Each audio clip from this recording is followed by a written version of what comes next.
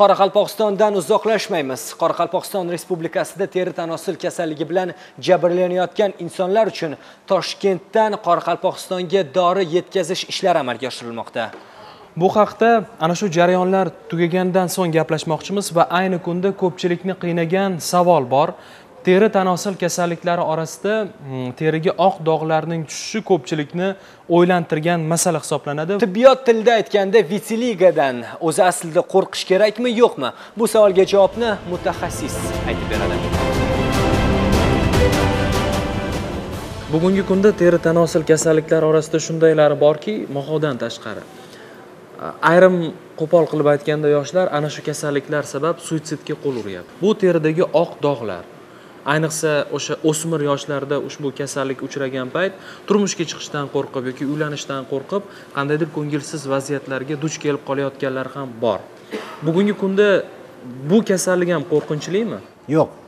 Bu kasallikni tibbiyot tilida vitiligo deyishadi. Kasallik yuqmaydi. Kasallik og'rish bilan yoki qichish bilan kechmaydi. Faqat kosmetologik nuqsonlar paydo bo'ladi. Endi qo'rqmasdan bitta sirni aytishim mumkin. Moxov kasalligida ham dastlabki belgilardan biri bo'lib bemorning terisiga dog' tushadi. Ayniqsa o'n yettinchi o'n sakkizinchi o'n to'qqizinchi asrning nihoyasigacha hattoki shifokorlar ham moxov bilan vitiligo kasalligini farqiga borishmagan. Vaholanki bu mutlaqo mutlaqo yana qaytaraman. Bir biriga o'xshash bo'lmagan kasalliklardan hisoblanadi. Vitiligani ham davolash mumkin butunlay. Vitiliganing davosi to'g'risida juda ko'p ishlar qilingan. Bu kasallikka qarshi butun dunyoda olimlar ish olib boryapti. Shu jumladan bizda ham.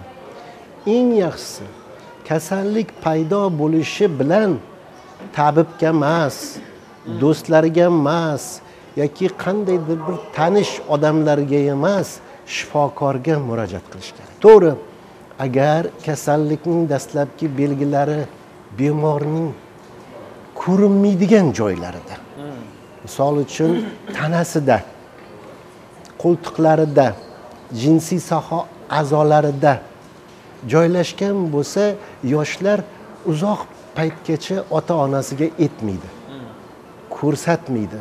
Faqatki vahimaga tushkunlikka tushadi. Mana shu paytda albatta murojaat qilish kerak. Uni bekitib o'tirishga hech qanaqa hojat qolmadi. Hatto shunday sharoitga hozir egamizki mabodo bemor uzoq vaqt o'zining mana shu dardiga davo topaman deb yurgan bo'lsa bizda hozir terining sog'lom joylaridan mana shu oq dog'lar paydo bo'lgan joylarga qaytadan ekib uning rangini tiklash yo'lga qo'yilgan. Umuman bugungi suhbat davomida ayrimlar o'ylanib yurgan ayrimlar qo'rqib yurgan va ayrimlar hattoki qanday yo'l tutishni bilmayotgan muammolar ochildi degan umiddamiz. Sizga ma'lumotlar uchun bugungi tashrif uchun rahmat